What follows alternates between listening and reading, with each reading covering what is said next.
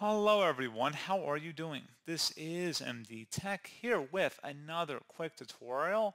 In today's tutorial, I'm going to show you guys how to resolve the common issue you may be having on your Windows 10 or Windows 11 computer with the kernel security check failure message on your computer. So this error can typically occur if you're having issues with your Windows kernel. There's a few different ways on how to hopefully resolve this problem. And without further ado, let's go ahead and jump right into it. First thing I do want to point out is there's a chance that there's a hardware issue with your hard drive, in which case there's really no software fix that's really going to fix it. You're probably already on borrowed time with that, so you might want to consider replacing it, upgrading it to an SSD or another hard drive. Hard drive space is not very expensive nowadays. It's not what it was 10 or 20 years ago. Just keep that in mind, and once we've addressed that, we can go into a couple other troubleshooting methods here. So open up the search menu and type in CMD, best match, let's say command prompt. Right click on that and select run as administrator. If you receive a user account control prompt, select yes. And now I will have a couple commands in the description of my video. First one is a DISM scan. Go up the top bar of the command prompt window, right click on it, select edit and paste that in. Hit enter to begin that scan. This will take a few minutes to run, so please be patient.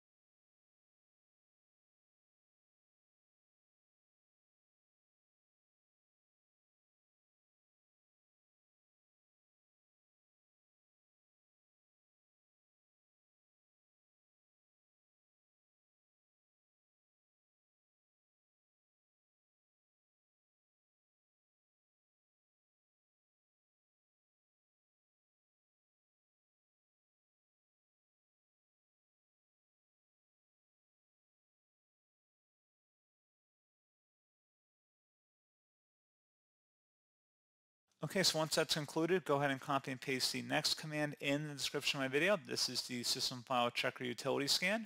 And then again, go up top right, right click on the top bar, select that and paste that in, run that as well.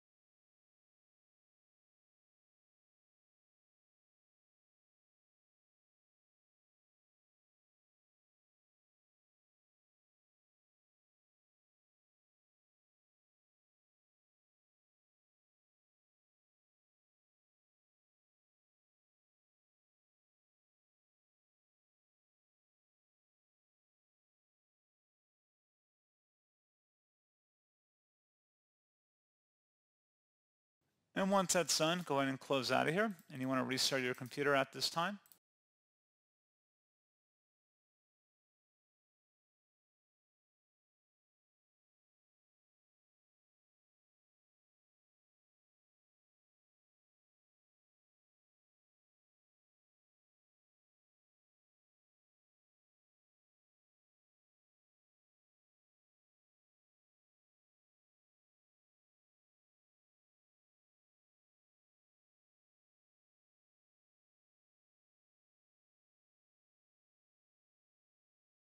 And there you go, guys. Hopefully this pointer issue has been resolved. And as always, thank you for watching. I do hope I was able to help you out, and I do look forward to catching you all in the next tutorial. Goodbye.